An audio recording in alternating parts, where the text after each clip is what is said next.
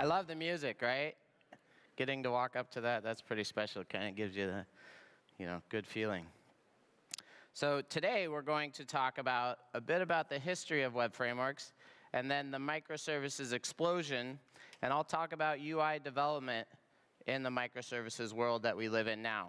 And then I have some information from developers that have been implementing micro front ends, and then I will do as the title promises, tell you how to win at UI development in a world of microservices. But first, my name is Matt Raible. I'm a hick from the sticks. I grew up in the backwoods of Montana. No electricity, no running water. Had to walk two miles to the bus stop every day, but in the winter we got to ski, so that was nice. I live in Denver, Colorado with my beautiful wife Trish and two awesome kids, Abby and Jack. I also have a middle child. His name is Hefe. I bought him off eBay in 2004 and restored him over 12 years. He's a very expensive obsession. If you have a similar obsession with Volkswagens, I'd love to talk to you after. One of the mistakes I made was I put a Porsche engine in him and a Porsche transmission, but it's fun now. It just took a while to make it happen. I work for a company called Okta. We do users as a software service. The acronym for that is UAS, so not a very good one.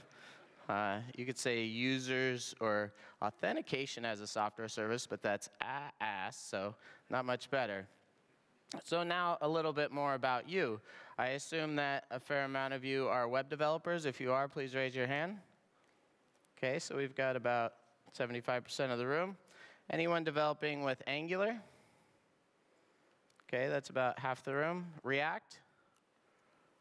That's a good third of the room. And then Vue, and there's five people. I mean, Vue gets a lot more press than you think it would, but again, we're at a Java conference, so it's not quite as popular here. Anyone doing microservices at their companies? Okay, I'm going to say that's about a third of the room. Anyone doing micro front ends? Okay, there's about a handful. Okay, all right. So I'd like to talk about web frameworks in general. I myself am an aficionado of web frameworks. I got into Struts 1.0 the month it was released. So personally for me, that was good timing. I was working on a software project just south of Denver where I live, and I was asked to create a web framework that we could use on the project. And I was like, I just learned what servlets and JSPs are. You want me to create a web framework? So when I found Struts, I was pretty happy about it. And through that time, I've kept up with web frameworks pretty well. In fact, the first talk I ever did at a conference was on comparing web frameworks. And it was a Java conference. It was ApacheCon. And I talked about, you know, Struts and Tapestry at the time and later Spring MVC. And the funny thing is, I was able to do that talk for 10 years because in Java we didn't have a whole lot of innovation. And in fact, I gave it here once, I think back in 2013. So in the Java space, we basically had server rendered frameworks, right? Where you would render the JSP or whatnot on the server side. And we also had an explosion of web frameworks in 2003 and 2004 to the sense where a lot of other communities made fun of us because we had so many Java web frameworks. Well, then in the mid 2000s, along came Ajax and single page applications and the mobile revolution with iPhones in 2007. And then the web gave way to Ionic and React Native because a lot of web developers wanted to develop mobile apps, but they didn't want to learn something like Objective-C or even Swift or you know, a new programming language. And then it came to static site generation. That's been really popular in the last couple years. Performance optimization on the front end has always been popular. And today what we see is a mix and match of server rendered because some companies need you know, really fast uh, product pages and things like that, single page applications and static websites. Blog posts now, for the most part, blogs, are done with static or compile time rendering, right? Gatsby is a very popular tool for that. Personally, on my blog, it's very similar. I'm still using Apache Roller, and we use Velocity to actually render everything, but it just renders once, and then it caches everything forever until you actually update that blog post. So it's been a very interesting time. GraphQL is also becoming more and more popular, but really it's been a lot about JavaScript just becoming you know, a renaissance in the single page applications and making it so we can develop everything in one bundle and ship it on a phone or ship it in a browser or whatnot. So around 2014, shortly after the single page applications became popular, we ended up with the microservices explosion. And some people call this SOA reincarnated. But it was actually invented way before that. In 2005, Dr. Peter Rodgers and Juval Lowery called it services are composed like Unix-like pipelines, and the web meets Unix, and we call it true loose coupling. And James Lewis, Martin Fowler, Adrian Cockcroft, and Joe Walnes were some of the pioneers that they give credit to of the current microservices era. And I often say if it's a blog post on Martin Fowler's blog, then that's what really kicked things off, and that happened March 25th, 2014. Well, I don't know if you remember what else was invented in 2014. That was Spring Boot 1.0. Of course, it was invented before that, but that's when it was released. And so March 25th, 2014, April 1st, the next week, Spring Boot 1.0 comes out. And then Spring Cloud 1.0 was released the next year. So in the Java space, we basically got access to very good tools for doing microservices. And people have different notions of good, but I would say that very easy tools in the sense of you could write 10 lines of code in one app, 10 lines of code in another app, and be able to have a microservices architecture. So microservices are often based around Conway's law.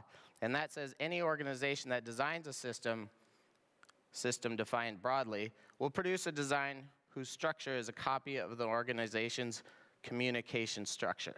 So I was fortunate enough in 2007 and 2008 to work at a company called LinkedIn.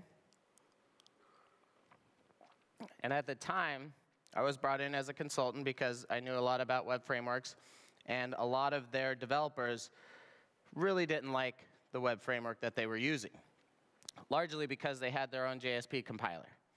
And the developers basically were like, I know JSPs and that doesn't seem to be a very good technology in the sense of the broader community kind of looks down upon it.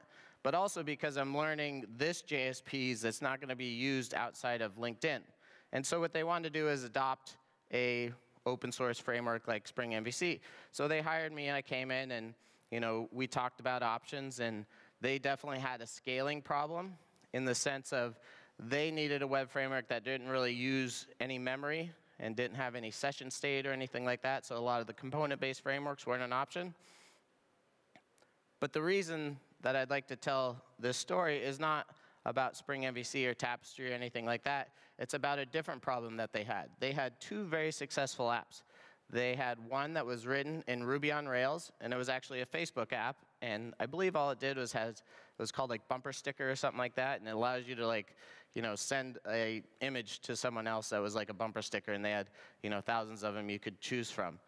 And then the other one was a recruiting app, and that was LinkedIn Recruiter, and that was written in Groovy on Grails, right, or Grails as we know it now. And the CTO came to me and he was like, we need to pick one of those. Can you spend two weeks like seeing which framework is better, and then we'll consolidate and only use one because they seem very similar. And so what I discovered after that two weeks was sure it was possible to make that Rails app implemented in Grails or implement the Grails one in Rails. But after talking to the two teams that worked on them, what I really discovered was that if they made either of the teams switch frameworks, they were going to lose that team. Because the team was so passionate about Ruby on Rails or Grails that they were like, that's what I want to do. And it was still pre-IPO, so maybe they wouldn't have quit but they were certainly passionate about their frameworks. And so my recommendation at the end of that was use both, right? Allow both, allow these teams to do whatever you want. And fast forward, you know, 10 years later, LinkedIn is one of the biggest microservices architectures out there, and they have things written in Play, Scala, Spring MVC, Node.js, all these different frameworks. And so I think that's one of the powers that microservices really gives you is it allows your developers to develop in whatever they want as long as it's got a URI that you can reach and it can be aggregated at some sort of API gateway, right? That's the microservices, reason for the microservices explosion. And so service boundaries are usually reinforced by team boundaries. So Conway's law really says that if you have an organization that has DBAs over here, middle tier developers here, and UI developers over here, like good luck with microservices. Because to develop microservices properly, what you need is really product teams. You need to have the ability of an autonomous team that can take something from an idea all the way to production and monitoring production and own and enhance that actual microservice. So monitoring becomes very important. And if you don't have that structure, then you're basically, you're going to be in a little bit of a bind. So what I've noticed is microservices on the back end allow different frameworks, different languages. But what about the front end? So my experience is that as long as you can aggregate everything in the back end with microservices behind an API gateway, they work great. And on the front end, though, it doesn't seem to be happening that much. What I see a lot of times is, you know, there's actually the code for all those microservices still sits in like a single bundle on the front end, or maybe there's some lazy loading to facilitate speed, but it's still like a monolithic front end. And so that can become a problem. And this is a great website to learn more about micro front ends. So in my experience, I work on a project called JHipster. And I like to think that JHipster is kind of the state of the art in the Java world for doing Java and JavaScript front ends.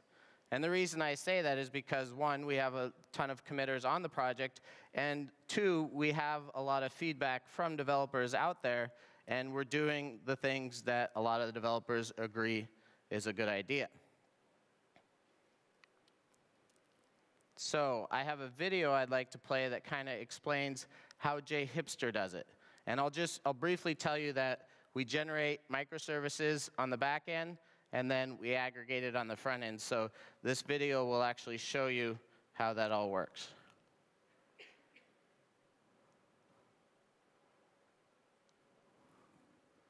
Oh, see, I almost messed that up.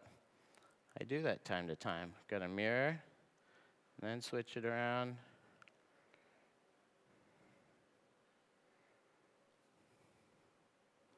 My name is Matt Raible, and this is a quick overview of how the UI works in a microservices architecture when using JHipster. So I have this JDL file that defines a gateway, a blog, and a store application. I'm going to start by downloading that. Then I'll open up a terminal window, create a directory, and then create my applications using import JDL. That created three applications. You can see there's a blog, a gateway, and a store. The gateway is where all the UI code is contained. The blog and the store are backend microservices. So if we went into store, for instance, and look at its package.json, it just has generator JHipster. And that is so it can generate entities in the backend using JHipster. So I'll go ahead and start all these, but before I do that, I'm going to go into Gateway and start some essential services. Since we're using OAuth 2 for authentication, we need to start Keycloak. And then we'll also need to start the JHipster registry for service discovery. And then the store application has a MongoDB database, so we'll need to start that as well.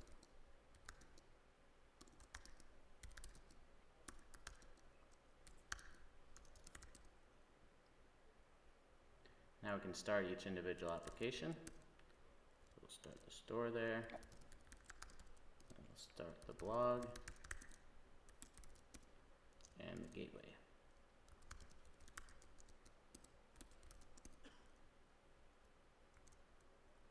And while that's running, I'm going to open up the store just to show you the code.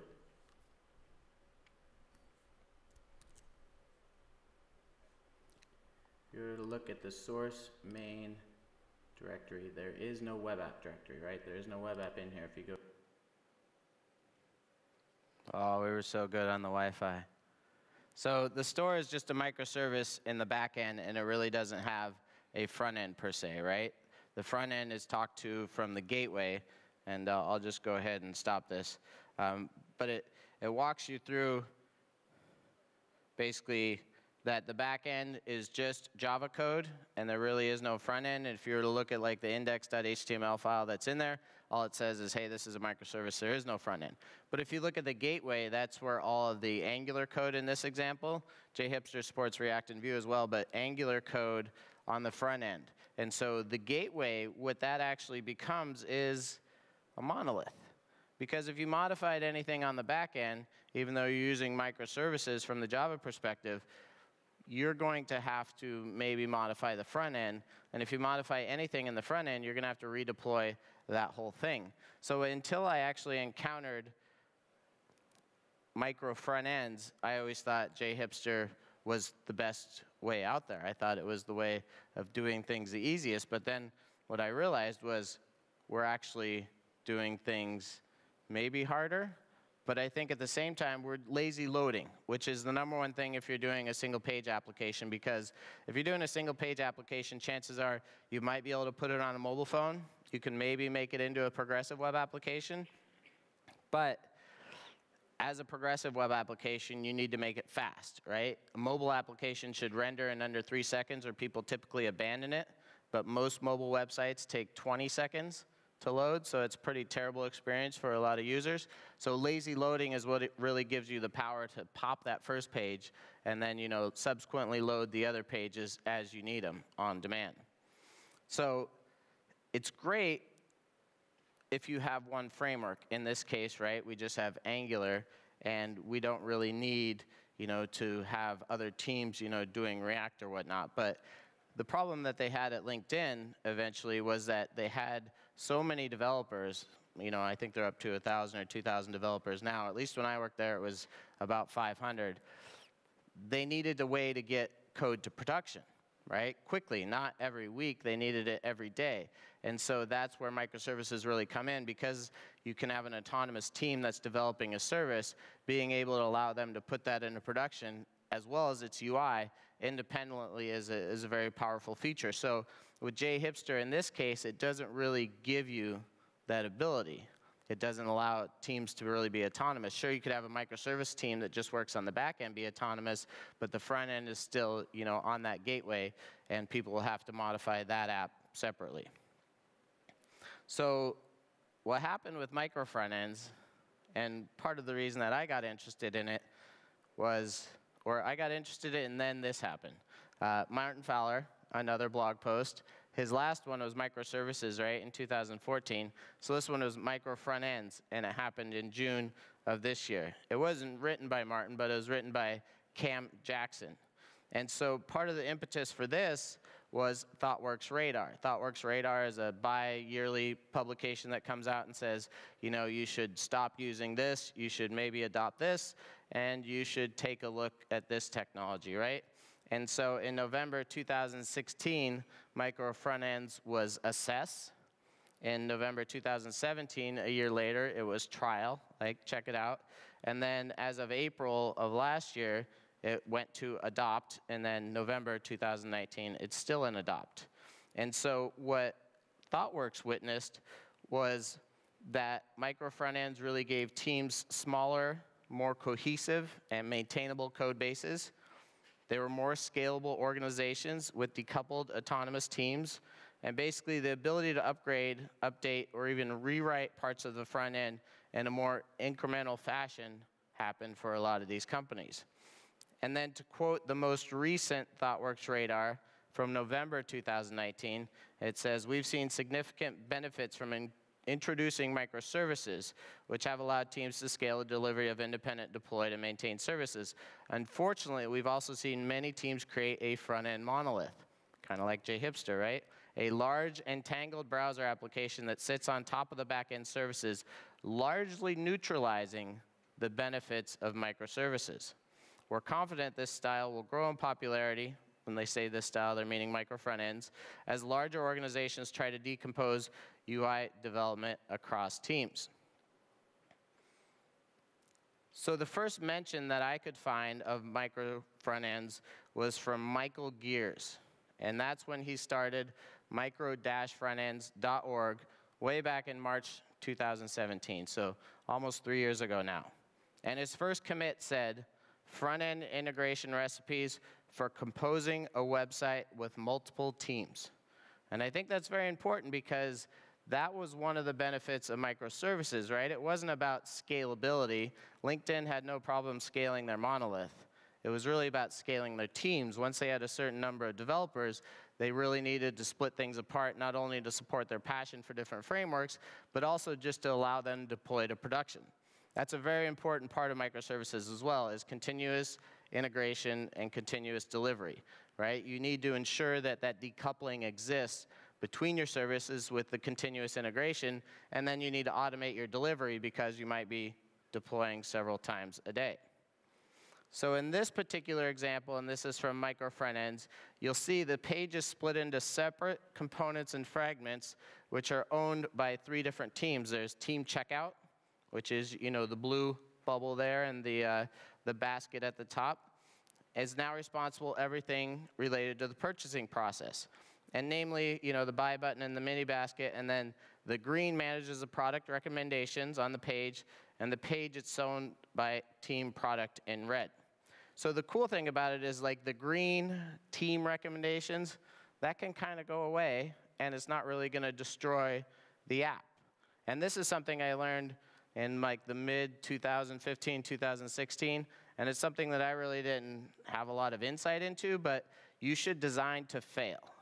If you're going to build resilient systems, you know, with microservices and micro front ends, you should be ready for part of that to fail. As developers, a lot of times we just you know, test the happy path.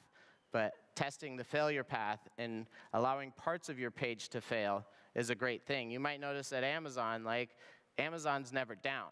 But there might be parts of the page that are down, right? And that's because they employ a similar micro front ends architecture.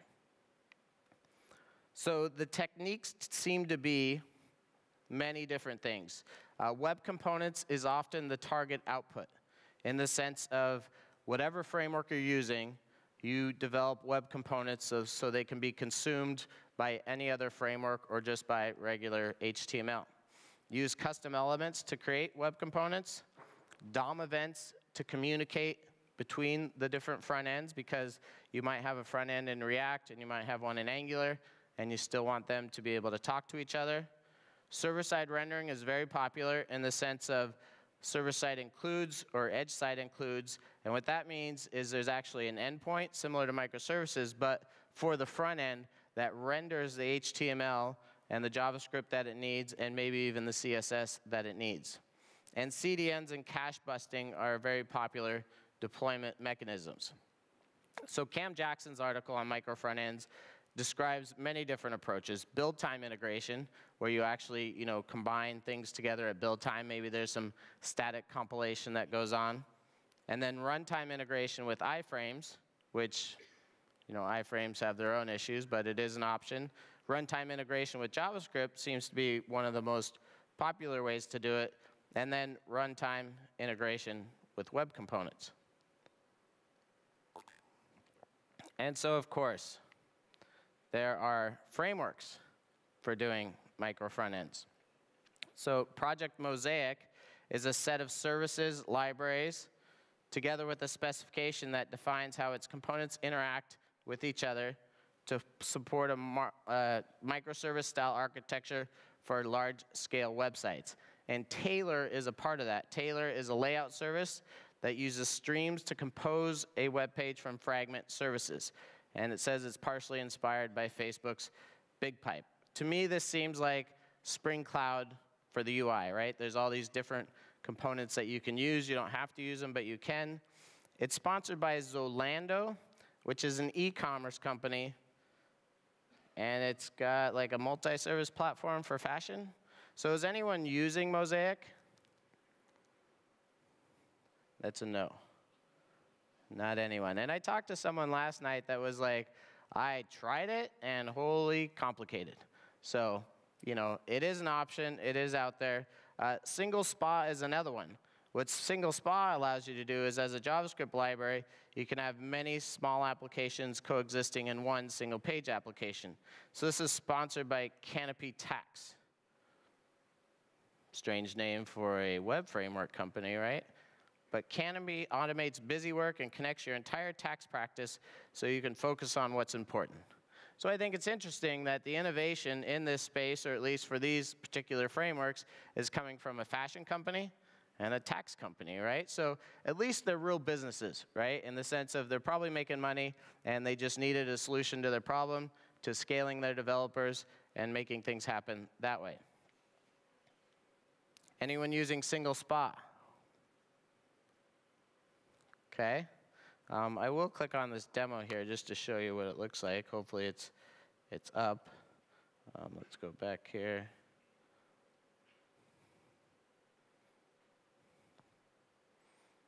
Then you're not seeing it. I do make that mistake. Oh, the internet's down.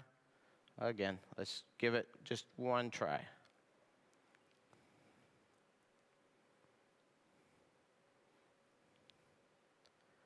And then Miriam.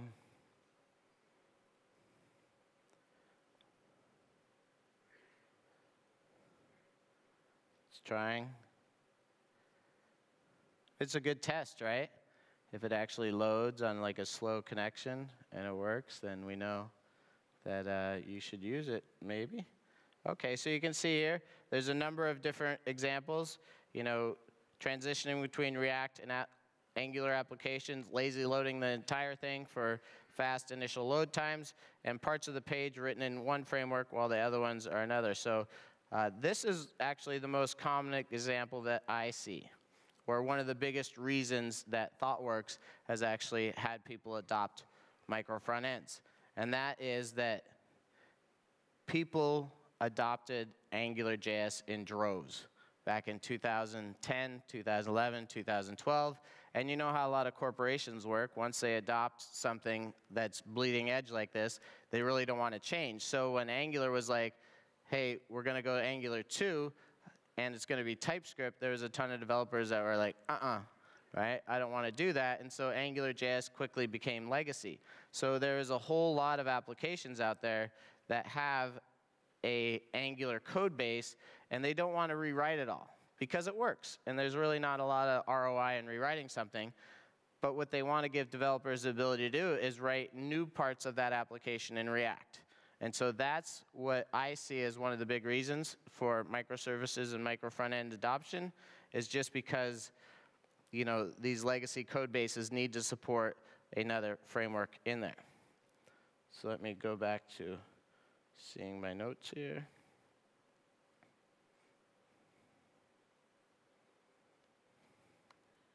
So I asked my network, right, and this was last summer, July 30th, 2019, have you implemented micro front ends? As described on microfrontends.org and in Cam Jackson's article. If so, how have you done it? And you can see custom elements is popular. ESI plus H include, which I'll get to in a moment, wasn't used by anyone. Project Mosaic, you know, a little bit, and then single SPA, 62%. So a lot of people using that. And you might look at this and be like, that's interesting. But what you might not notice is the number of votes that I got 13, right? So I have a pretty big network. And usually when I put polls out there, I at least get, you know, a couple hundred responses. 13, that implies no one's really doing it. So there's still very bleeding edge, in my opinion. And what I see, both from the companies that have these frameworks, as well as the developer stories I'm about to tell you about is it's really companies that have a scaling problem.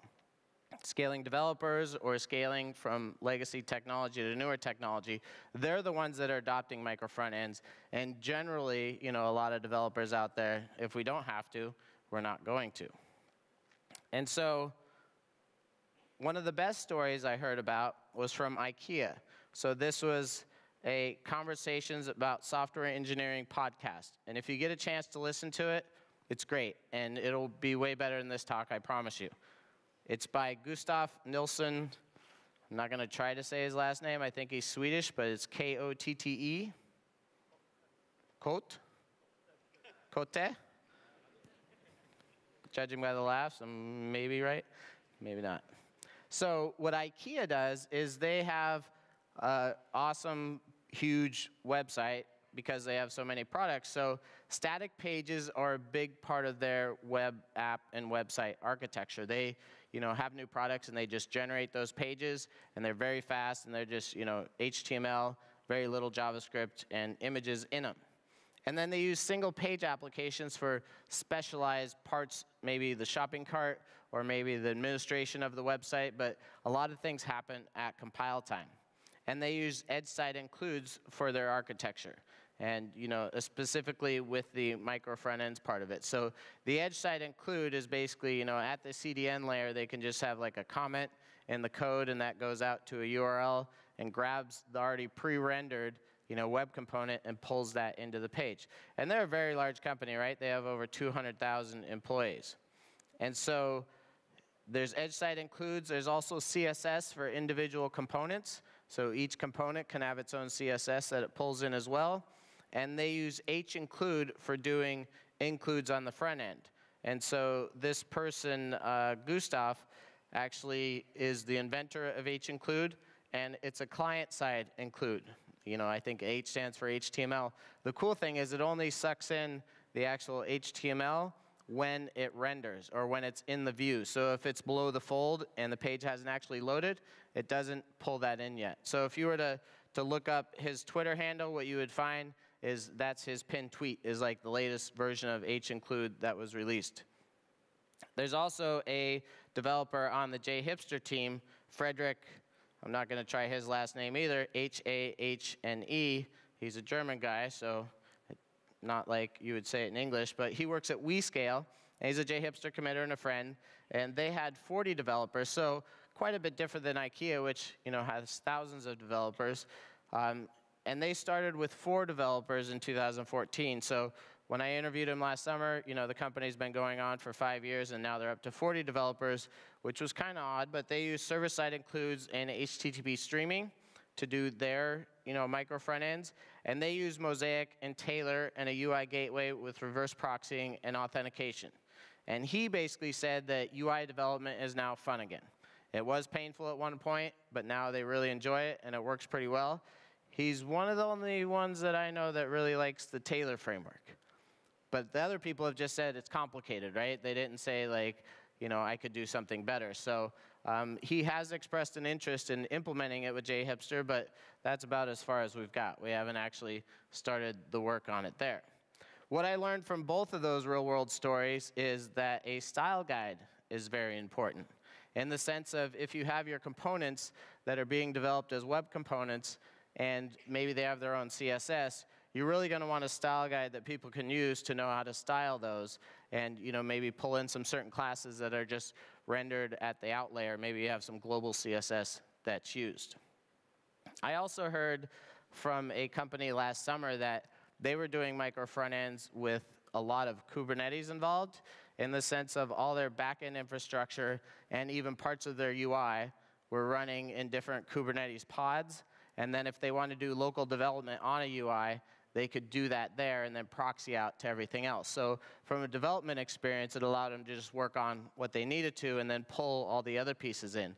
And you can imagine if you actually had to run everything local. I mean, the JHipster demo I showed earlier, that starts up like 14 containers just to run, you know, a couple microservices and, you know, a database and all that kind of stuff. So if you're going to do this, you don't really want to make everyone have to buy a kick-ass laptop, although it's a good idea if you can convince your company to do it, you should have the ability to you know, proxy out to existing running services and just do the UI development locally.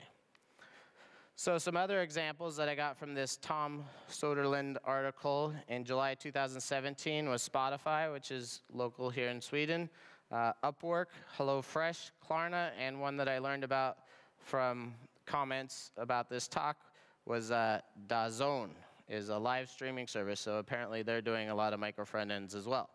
It's interesting though, because like DAZN and Spotify, they kind of seem like they really don't have a lot of UI available, right? There's not a whole thing like Amazon or like IKEA. It's not a shopping store, but um, still it's cool that they're doing micro front ends. But again, you know, a lot of us aren't.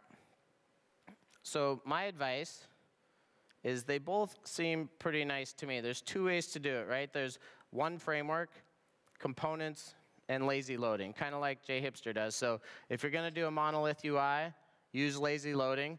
What I've seen as well is companies like Comcast are doing microservices and micro front ends development, but they're actually developing and deploying separate React applications, and they're full page applications, but they're just separated by URL.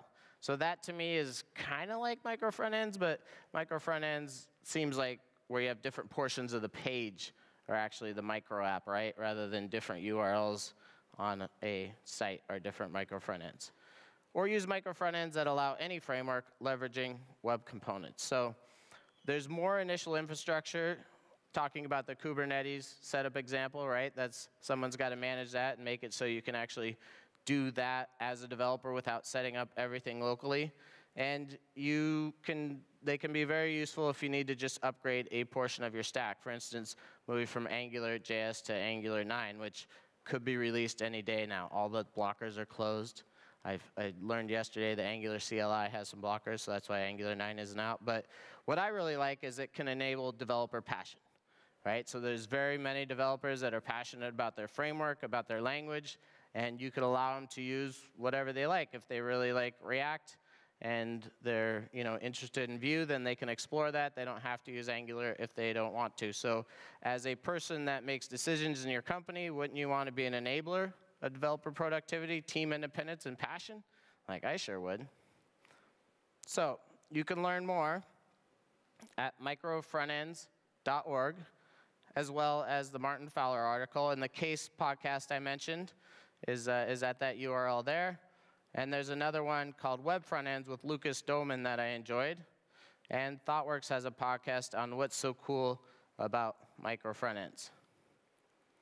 So when I first wrote this presentation last summer, I decided to create a ticket for JHipster and say, hey, we should try implementing a micro front ends prototype with JHipster, right? So I explained kind of the precedent of it, put a $500 bug bounty on it, and actually went ahead and created a ticket. And like I said, Frederik is very interested in Tailor, right? So he added some comments on how he thinks we should do it. And if you wanted to go to the ticket, you can see those comments.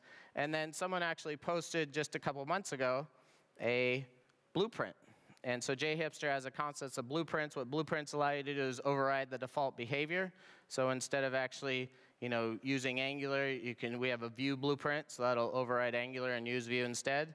And so I believe it's pronounced Entando, but it's an Italian company as far as I can tell.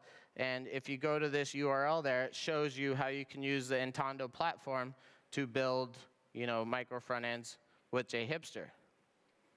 The only problem that I see with it is everything here is JHipster, but they're calling it Entando. But they have micro front ends. That's the only real difference between this blurb and like JHipster, right? It has all these things normally.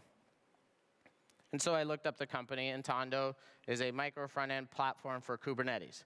I did a little bit of research on it, and turns out, you know, they seem like a legit company.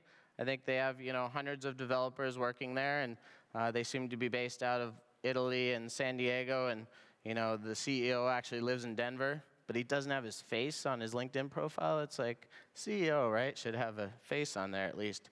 But what I found in this tutorial, I started to do it, and it's a 30 minute tutorial. I'm the kind of developer that likes 10 minute tutorials. If I can figure out something in 10 minutes, then I'm going to be like, sweet.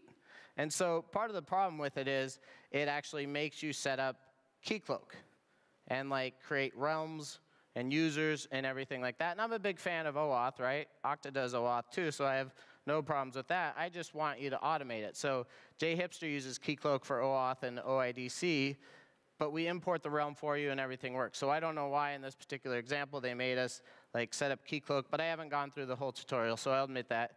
You know, I made it through eight minutes, and then I was like, we got to automate this, right? Make it 10 minutes, and it'll be cool. So right now, if you want to use it, you actually have to go and clone a repo, and then npm install it, and then npm link it, and then you can generate your app and have, you know, basically uh, UI components on your microservice. So it is independently developed, right? You can do that.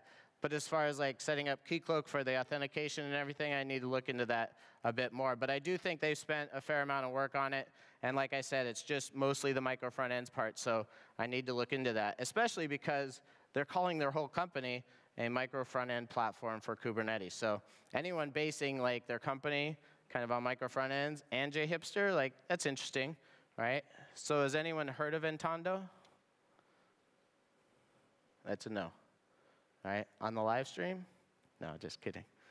So I wrote a blog post about this exact talk, how to win at UI development in the world of microservices. So everything I've said today, if you'd rather read it than you know watch it on a video or whatnot, um, it's available there, and there's many more links. So um, speaking of our blog, I do a lot of blogging. It's a cool job, right? Write blog posts, create example apps, only test in Chrome. It's really a nice place to be. So we write a lot on microservices with .NET, Node, PHP, and Java, as well as Angular, React, Vue, Electron, React Native, and Ionic. So we do have some time left here. Before we get to questions, if you need to contact me or have any questions, hit me up on my website, raibledesigns.com. You can also hit me on Twitter at mraible. My direct messages are wide open. I've already uploaded this presentation to SpeakerDeck, so if you were to go to that URL, speakerdeck.com slash mraible, it's there and I put a lot of code on GitHub. So may the auth be with you, but we do have, you know, five or six minutes for questions, so please ask. And I'll repeat them if I see them. And if you don't, then you got five minutes of your day back, right? I know people are shy. If I wait long enough, there'll be a question. But otherwise, no. Thanks for coming.